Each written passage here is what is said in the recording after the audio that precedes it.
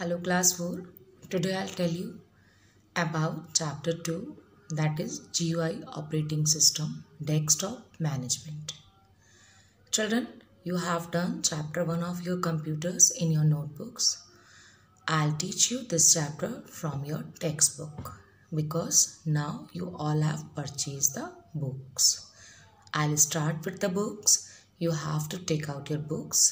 We'll read and I'll explain the chapter according to your book because it will be easy for you all. You can see the things from your book easily. And I'll give you the answers of the questions also, but first you find out the answers by yourself. So, children, let's start your chapter 2 of computers. Chapter 2 GUI Operating System Desktop Management. Children, in the previous class, you were introduced with Windows 7 and the various operations that you can perform on the desktop of Windows 7. Let's recall the Windows 7 is Graphical User Interface GUI operating system that has a graphical environment consisting of various buttons and icons. An operating system is an interface between the hardware and the user. It makes your PC alive and helps you to run different applications. It coordinates and manages the activities of a computer just like the principal of a school manages all the activities running in a school. Now children, what they are saying? They are saying just like your school management operating system is working in a window. See, operating system always help you to interface between hardware and user. So here it will support you the graphics also. That's why it is called GUI, Graphical User Interface. You can run many applications at the same time and it makes you PC alive. Means you can work with your PC with graphics and with many applications. Let's see in this chapter what we will learn. We will learn, we are going to explore more features of Windows 7. Children, obviously, everything has many features, just like Windows 7 is also having the features. The first GUI version of Windows operating system was Windows 95. Since then, many versions of Windows have been released.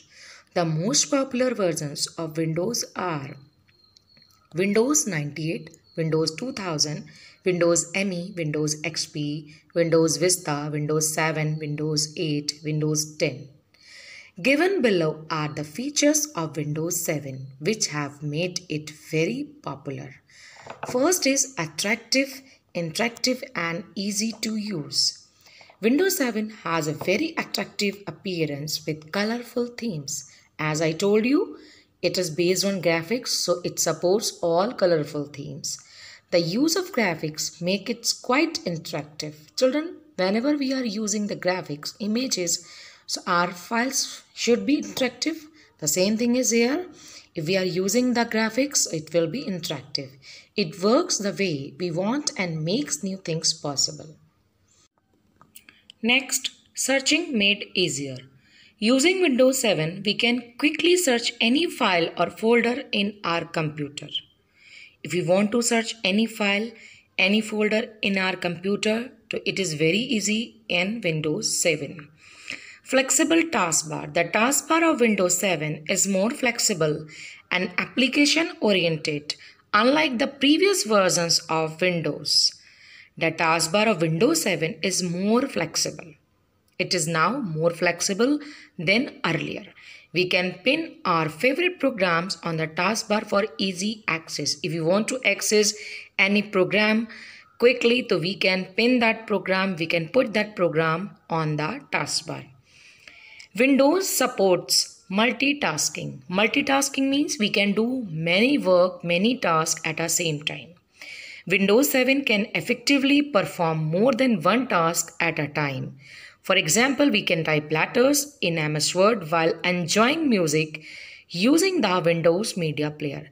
Children, sometimes we are typing, we are getting bored and we want to divert our mind from the stress so we can enjoy the music while typing. That is a very entertaining and very good option of windows 7 next is jump list this is a new feature that takes you straight to the documents pictures songs or websites you have recently visited for example the jump list for the Internet Explorer shows a recently opened website to open a jump list.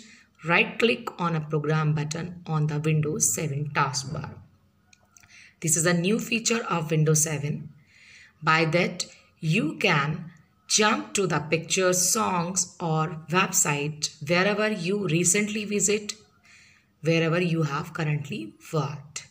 The next topic is Cascading windows. This option is displayed when you right click the taskbar. The cascading windows option arranges all the open windows from the top left corner of the screen to the bottom right in layers.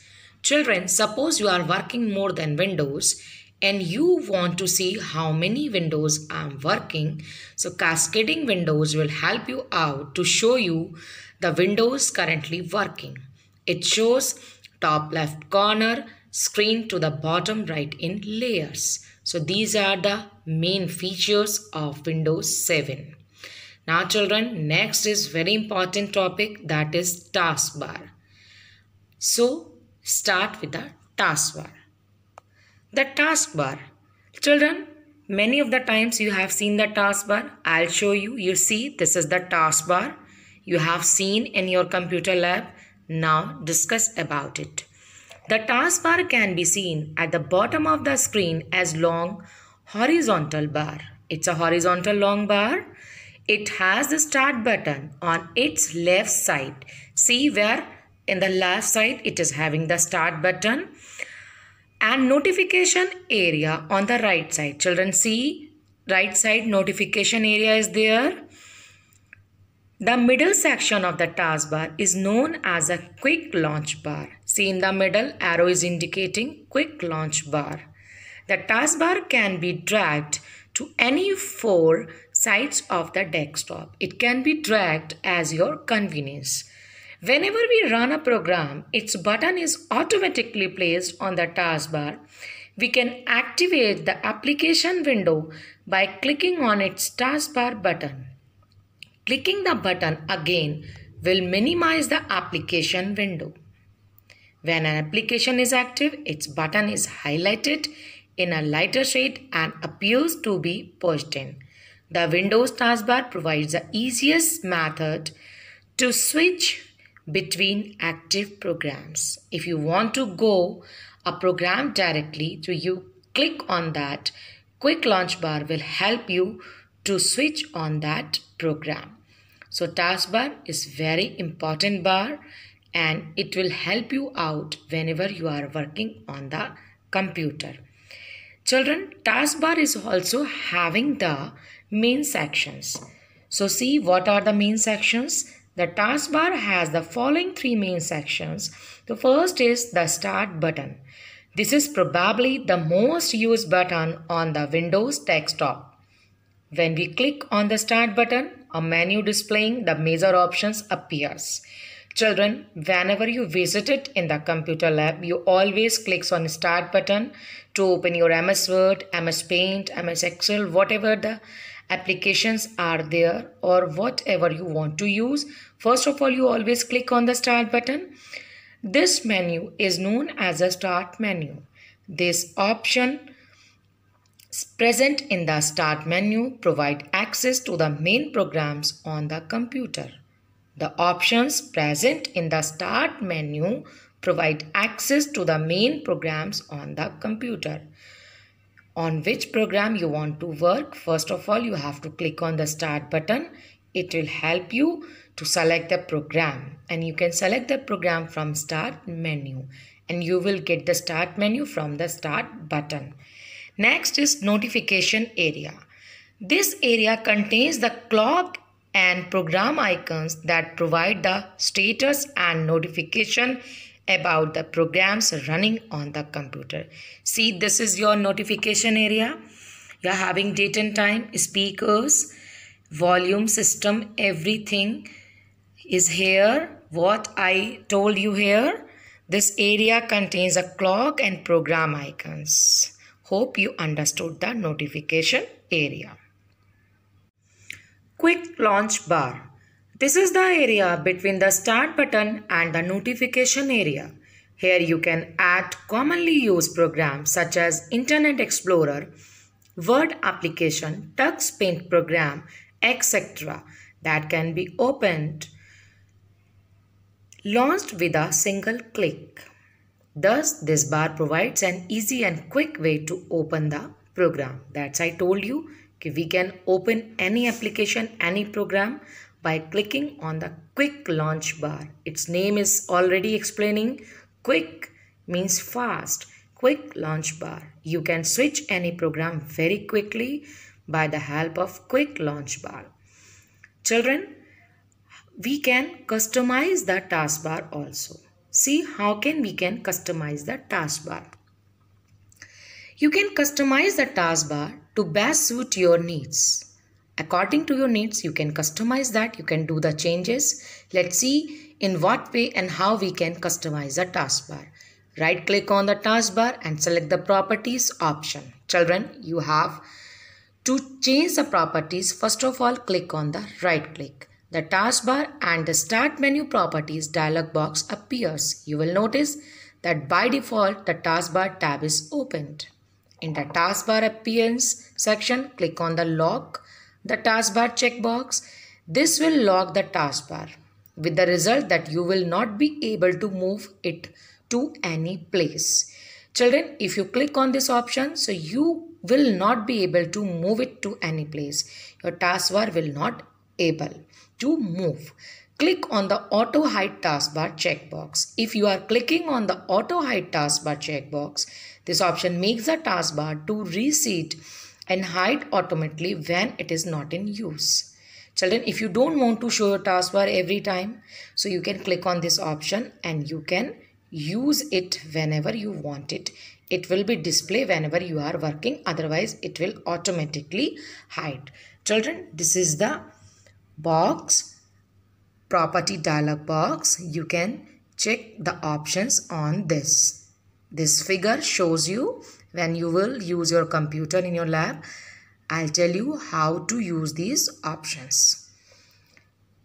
Click on the Use Small Icons checkbox. This option reduces the size of the taskbar icons to the more program icons on the taskbar.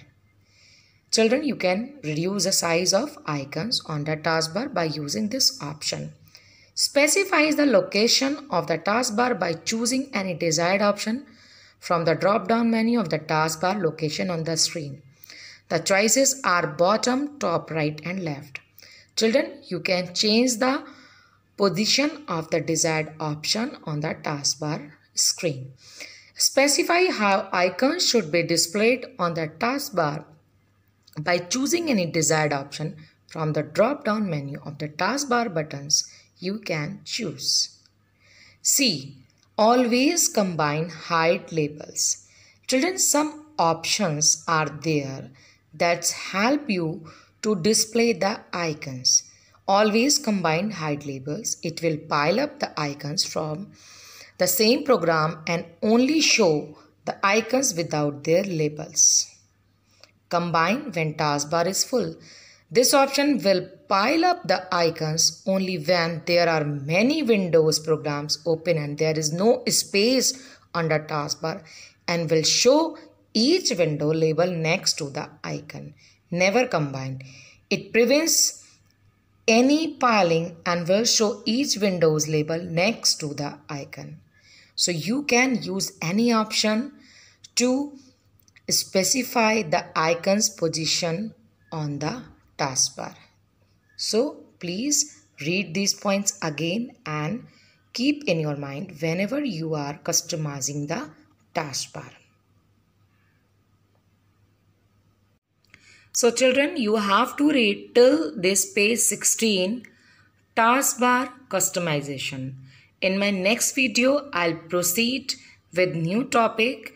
Till that, you have to read these pages again and please keep all the things in your mind that will help you out to find out the answers. I'll explain the next topics in my next video. Till then, you have to do revision and please prepare well for your unit test.